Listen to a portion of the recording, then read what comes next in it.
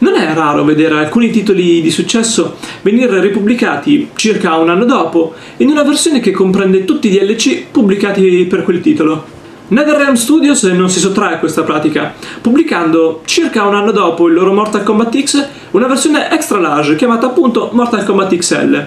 Una versione che sostanzialmente prende le basi del già ottimo Mortal Kombat X per inserire invece tutti i contenuti usciti fino ad ora per il picchiaduro.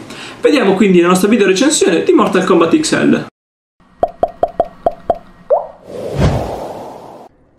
Come abbiamo già detto, la base di partenza è quella del solido Mortal Kombat X, quindi non una versione riveduta e corretta come magari accade con i diversi Street Fighter di Capcom. Infatti non troveremo aggiunte alla struttura di partenza del titolo. Non ci saranno nuovi capitoli dedicati allo story mode, non ci saranno modalità dedicate ed esclusive per gli acquirenti dei pacchetti aggiuntivi, ma tutta l'esperienza base sarà sempre la medesima del titolo già molto ricco di contenuti, grazie comunque anche a una storia dal taglio cinematografico, le diverse torri, la cripta, insomma Mortal Kombat X già di base aveva molti contenuti per l'utente. I nuovi contenuti di Mortal Kombat XL sono infatti tutti da ritrovare nel roster dei personaggi. Ora aumentato ben a 33 unità, grazie ai nuovi personaggi aggiunti tramite DLC. Troviamo infatti da Goro, disponibile unicamente con il preordine di Mortal Kombat X, fino allo xenomorfo di Alien, per non dimenticarci di Leatherface o Jason. Mortal Kombat X quindi tra i suoi nuovi personaggi trova quattro aggiunte dal mondo del cinema che sono appunto l'Alien, il Predator, Jason e Faccia di Cuoio e altre 5 aggiunte invece provenienti dai diversi capitoli delle serie come appunto Goro, Triborg, Borai Cho, Tanya e Tremor.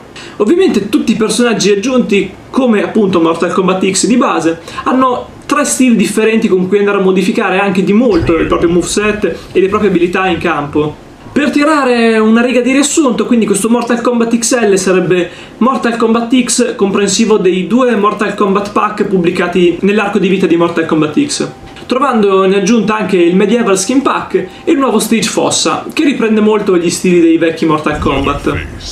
Mortal Kombat XL quindi si presenta come quel prodotto che si rivolge a chi vuole l'esperienza completa di tutti i pacchetti aggiuntivi appunto per chi vuole la versione definitiva del picchiaduro NetherRealm Studios. Infatti per avere questa versione XL è possibile operare in due vie diverse o acquistare appunto le edizioni XL ora disponibili nei negozi, oppure per chi avesse già il Mortal Kombat X, di comprare negli store digitali il Mortal Kombat XL Pack che al costo di 25 euro appunto aggiorna la versione di Mortal Kombat X a quella XL senza dover appunto dover vendere la propria copia per acquistarne un'altra.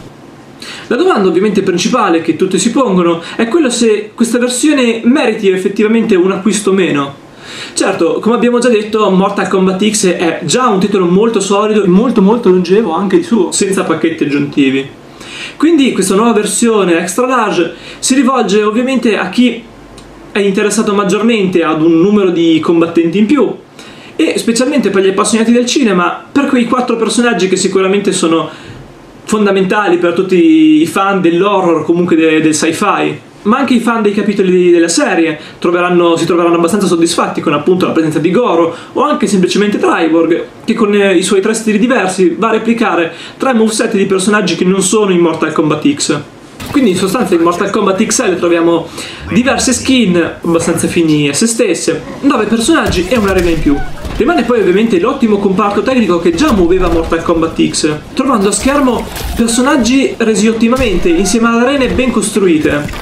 Lo stile realistico quindi rende la violenza di Mortal Kombat una gioia da guardare, per non parlare comunque della soddisfazione per la sensazione dei colpi ricevuti e inferti e il macro spettacolo che ogni mossa raggi X offre. Mortal Kombat XL quindi in questa versione si conferma come picchiaduro maledettamente longevo, anche senza doversi buttare subito nella controparte online garantendo una vastissima scelta anche solo nel trovare il proprio personaggio preferito tra i 33 presenti. Mortal Kombat XL rappresenta quindi quel titolo decisamente appetibile per tutti coloro che vogliono aumentare ancora di più il roster dei personaggi del titolo, ma che appunto a conti fatti non va ad aggiungere molto altro rispetto all'esperienza che già Mortal Kombat X offriva. La versione extra large del picchiaduro è ovviamente disponibile per PlayStation 4 e Xbox One, lasciando però indietro appunto i giocatori PC, forse per lo scarso successo che ha avuto il picchiaduro su quella piattaforma. E con questo vi lasciamo qualche video di gameplay di qualche match e noi di Readball vi ricordiamo come sempre di lasciare un like, scrivere qualche commento e leggere anche la recensione testuale che trovate nella descrizione del video.